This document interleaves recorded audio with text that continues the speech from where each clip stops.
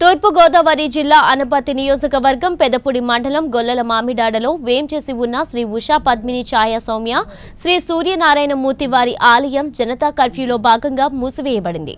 ప్రముఖ పుణ్యక్షేత్రంగా ప్రసిద్ధిగాంచిన ఈ దేవాలయం ప్రతి ఆదివారం భక్తులతో కిటకిటలాడేది. అలాంటి ఈ సూర్య దేవాలయం జనసంచారం లేక వెలవెలబోయింది. ఈ మేరకు ఆలయ ప్రధాన అర్చకులు మాట్లాడుతూ కరోనా మహమ్మారిని అరికట్టే నివారణ చర్యలో భాగంగా ఆంధ్రప్రదేశ్ ప్రభుత్వం దేవాదాయ శాఖ వారి ఉత్తర్వుల మేరకు స్వామివారికి నిత్యం జరిగే ధూపదీప నైవేద్యాలు పూర్తయిన అనంతరం ఆలయం మూసివేసినట్లు తెలిపారు.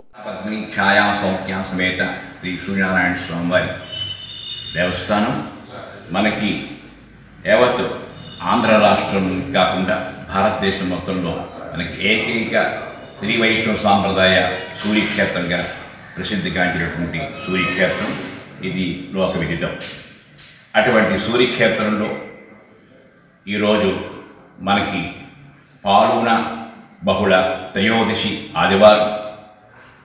ఈరోజు ఇంత నిశ్శబ్దంగా ఆలయం అంతా కూడా ఉండింది అంటే దాని ప్రధాన కారణం మనకి ఇచ్చినటువంటి ఆగమ సలహాదారులు అలాగే దేవాదాయ ధర్మాదాయ ఉండేటువంటి అధికారులు అలాగనే కేంద్ర ప్రభుత్వ అధికారులు రాష్ట్ర ప్రభుత్వం ఇవన్నీ కూడా ఇచ్చినటువంటి ఆదేశాల మేరకి భక్తుల ఆరోగ్య పరిరక్షణ అనేటువంటి విషయంతో ప్రజల తాలూకు ఆరోగ్యం కూడా ముడిపడి ఉండడం చేతను ఈ ప్రధాన దేవాలయాలన్నీ కూడా అంతర్భాగంగానే ఈరోజు మూసివేయడం జరిగింది.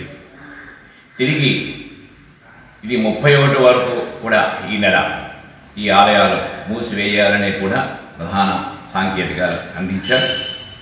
ఆ రీతిలో అంతర్భాగంగా ఈరోజు ఉదయం శ్రీవారికి తెల్లవారుజామున జరిగేటువంటి నిత్యారాధన ఆగమశాస్త్ర ప్రకారం ఉండేటువంటి ఇవన్నీ కూడా జరిపించి శ్రీవారికి జరిగేటువంటి మహానివేద సమయంలో మహానివేదనలు జరిపించి మనం ఆలయాన్ని మూసివేయడానికి కూడా ప్రధాన ఉద్దేశం.